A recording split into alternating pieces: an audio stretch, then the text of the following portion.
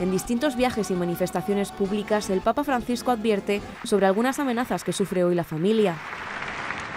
Hoy en día vemos y vivimos por distintos frentes cómo la familia está siendo debilitada, cómo está siendo cuestionada. ¿Cómo se cree que es un modelo que ya pasó y que ya no tiene espacio en nuestras sociedades? Y que bajo la pretensión de modernidad propician cada vez, cada vez más un modelo basado en el aislamiento.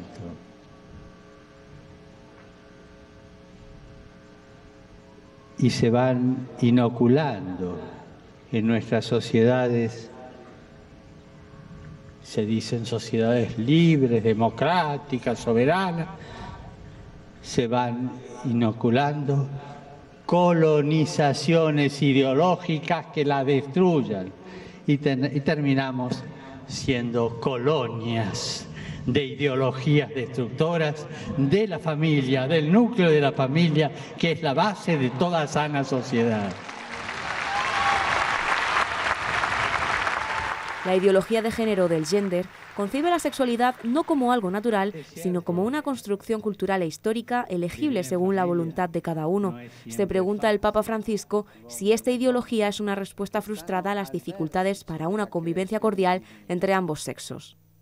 La cultura moderna e contemporanea ha aperto nuovi spazi, nuove libertà e nuove profondità per l'arricchimento della comprensione di questa differenza, ma ha introdotto anche molti dubbi e molto scetticismo. Per esempio, io mi domando se la cosiddetta teoria del gender non sia anche espressione di una frustrazione e di una rassegnazione che mira a cancellare la differenza sessuale perché non sa più confrontarsi con essa. Eh, rischiamo di fare un passo indietro. La rimozione della differenza, infatti, è il problema, non la soluzione. Un remedio equivocado que avanza con fuerza colonizando ideológicamente a las familias. Existen colonizaciones ideológicas que buscan destruir la familia. No nacen del sueño, de la oración, del encuentro con Dios, de la misión que Dios nos da. Vienen de afuera. Por eso dijo que son colonizaciones. And that's why I say it's colonization. No perdamos la libertad de la misión que Dios nos da, la misión de la familia. Y así como nuestros pueblos en un momento de su historia llegaron a la madurez de decirle no a cualquier colonización política, como familia tenemos que ser muy, muy sagaces, muy hábiles, muy fuertes para decir no a cualquier intento de colonización ideológica sobre la familia. Una colonización ideológica que desafía la misión cristiana de la familia y el matrimonio. The family is also threatened by growing efforts on the part of some to redefine the very institution of marriage by relativism, by the culture of the ephemeral, by a lack of openness to life. Ideologías incompatibles con el plan creador de Dios.